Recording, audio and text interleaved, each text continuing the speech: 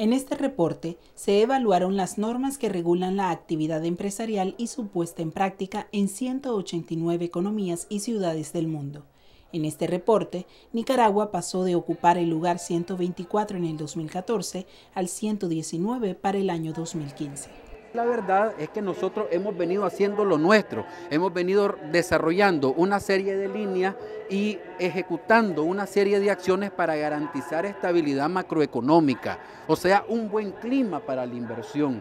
Pero tampoco es de menos decir o destacar de que el sector privado y el pueblo de Nicaragua ha depositado su confianza en esas acciones y ha decidido invertir en el futuro. Y están mandando un mensaje de que independiente de cualquier diferencia que a nivel interno exista en este país, que es absolutamente natural, en lo que sí estamos empeñados y tenemos causa común es en combatir la pobreza, en reducir las inequidades, por ejemplo, el informe donde nos colocan en primer lugar a nivel de la América en cuestiones de género, para, también para nosotros es muy positivo. Y todas esas son mensajes muy positivos para inversionistas serios que quieren venir a Nicaragua y establecerse inyectar recursos en este país, hacer inversiones, generar empleo y apoyarnos en el crecimiento económico y el combate a la pobreza. Esto es parte de un esfuerzo concertado del país en conjunto, el gobierno, los empresarios, los trabajadores,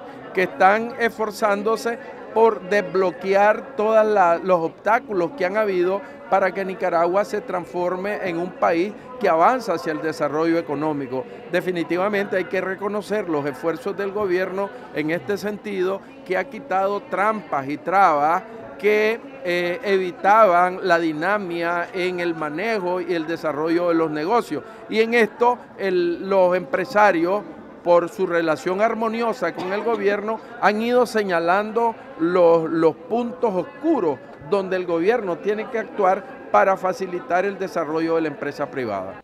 Sobre la facilidad para hacer negocios, en este reporte se analizó la apertura de una empresa, manejo de permisos de construcción, obtención de electricidad, registro de propiedades, obtención de crédito, protección de los inversionistas minoritarios, pago de impuestos, comercio transfronterizo, cumplimiento de contratos y resolución de insolvencias. También hemos venido invirtiendo en seguridad ciudadana.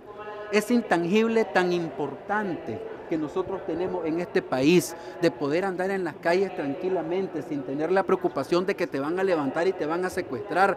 O sea, los niveles de seguridad y además con pocos recursos, porque la verdad es que Nicaragua es el país que menos recursos realmente tiene para invertir en seguridad ciudadana. Y aquí hay que hacer un reconocimiento real, tanto a la Policía Nacional como al Ejército de Nicaragua, que han hecho un trabajo encomiable para garantizar los excelentes niveles de seguridad ciudadana, que es uno de los elementos más importantes que valora un inversionista nacional o extranjero para emplazar sus inversiones en este país.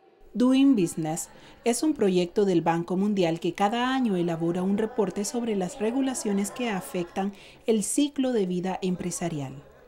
El diputado Walmar Gutiérrez aseguró que los resultados del último reporte comprometen a Nicaragua a profundizar la concertación, aprender de lo que plantea la gente, tratar de hacerlo de la mejor manera posible y mantener la vocación de trabajar por y para los nicaragüenses. Liz Escoto, Noticias Asamblea TV.